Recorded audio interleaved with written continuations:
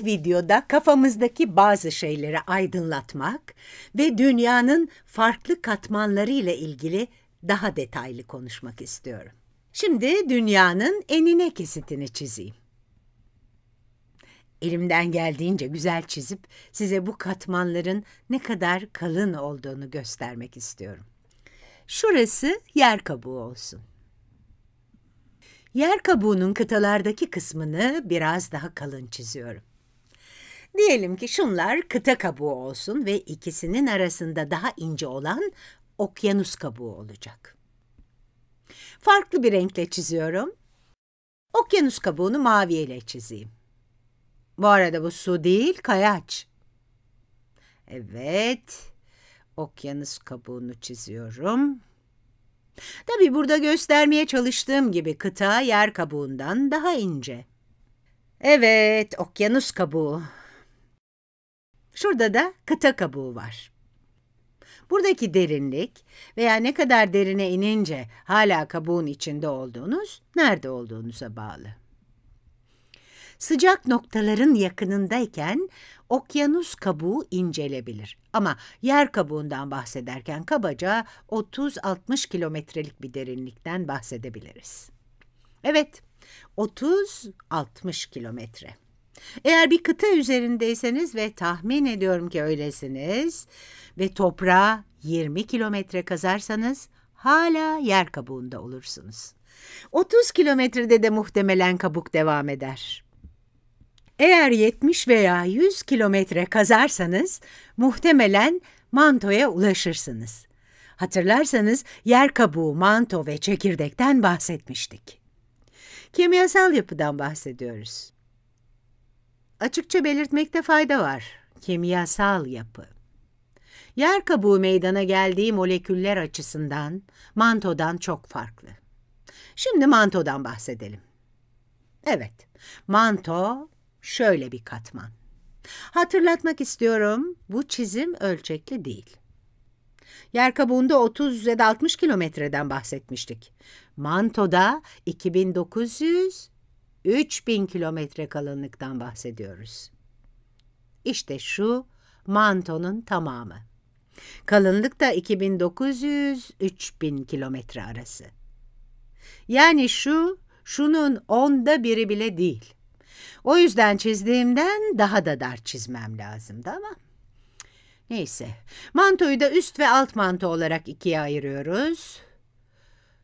Şimdi bu iki farklı kısmı da çizeyim. Evet. Sınırı belirlemede farklı ölçütler var ama üst manto yer kabuğundan kabaca 700 kilometre aşağıda. Bunlar çok büyük mesafeler. İşte üst manto. Hatta mantonun içine yazayım. Evet, üst manto. Şurası da alt manto. Şimdi meseleyi açıkça anlamak için tekrarlayalım. Yer kabuğu katıydı. Üst mantoya bakalım. Üst mantonun üst kısmı da katı olacak kadar soğuk. İşte şurada katı bir bölüm var. Burası katı çünkü kayaçlar erime sıcaklığına gelmemiş. Önceki videolarda öğrendiğimiz gibi üst mantonun katı kısmıyla yer kabuğunun birleşimine litosfer deniyordu. Litosferden bahsederken mekanik içerikten bahsetmiyoruz tabii. Neyin katı olup neyin katı olmadığından bahsetmiyoruz. Evet, burası litosfer. Litosferin hemen aşağısına inmeye başlayınca sıcaklık yükseliyor.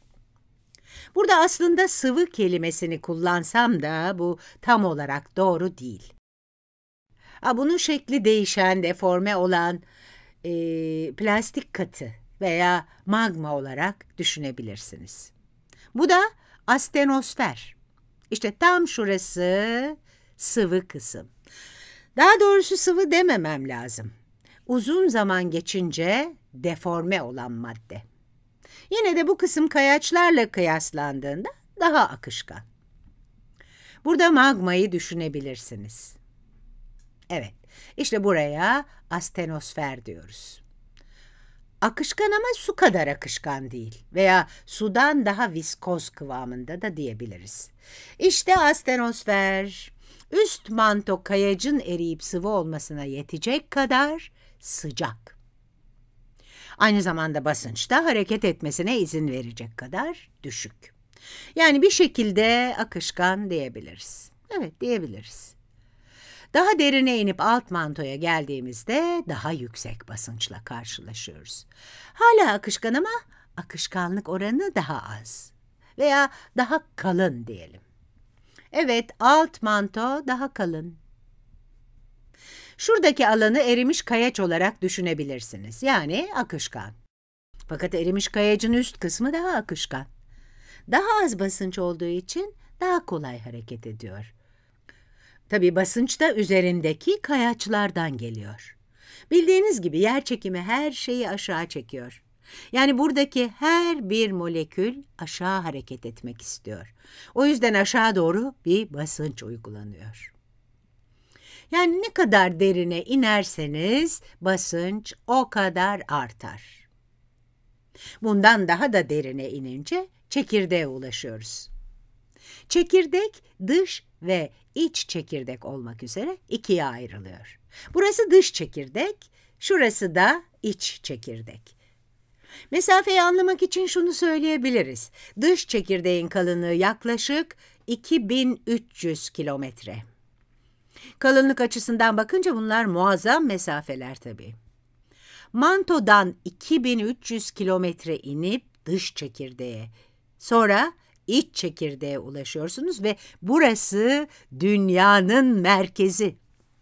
Aslında sınırları biraz da ölçüye uygun çizseydim iyi olurdu ama Evet, ne diyorduk? Ha, şöyle olacak çünkü dış çekirdek iç çekirdekten kalın. Tekrar yazayım. Dış çekirdek yaklaşık 2300 kilometre kalınlığında. Sonra iç çekirdek geliyor. Yo yo, mavi değil de şöyle daha sıcak bir renk kullanayım değil mi? İşte dünyanın merkezi iç çekirdek. Burası bin kilometreden biraz daha kalın. Evet, iç çekirdekte burası. 1200 kilometre kalınlığında diyebiliriz. Hem dış hem iç çekirdek nikel ve demirden oluşuyor. Dünyanın oluştuğu zamanı bir düşünün. Dünya çok sıcakken ve akışkan durumdayken ağır elementler diğer bütün her şey akışkanken aşağı battı. Hafif olan şeyler Mesela gaz halinde olan şeyler yukarı çıktı.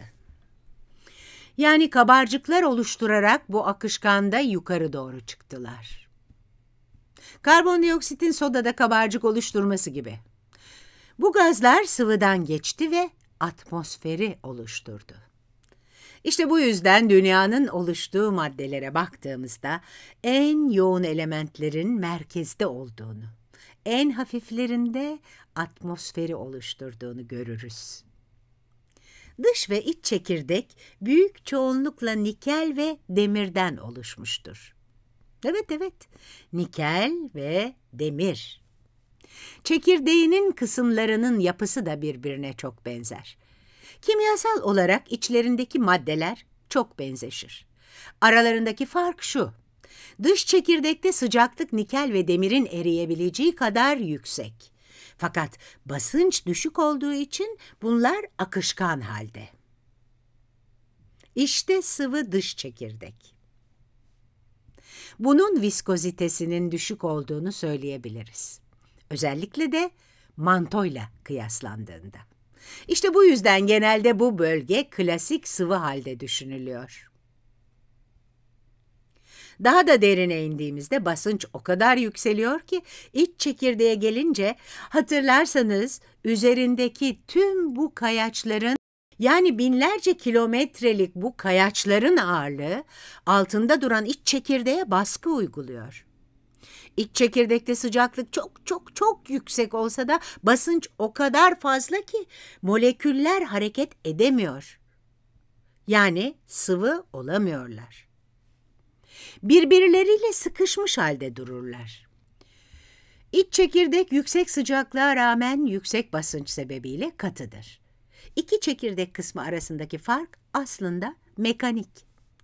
Dış ve iç çekirdeğin ikisi de aynı maddeden oluşuyor. Neredeyse tamamen aynı kimyasal yapıya sahipler. Sadece dış çekirdekte basınç daha düşük olduğu için akışkan halde.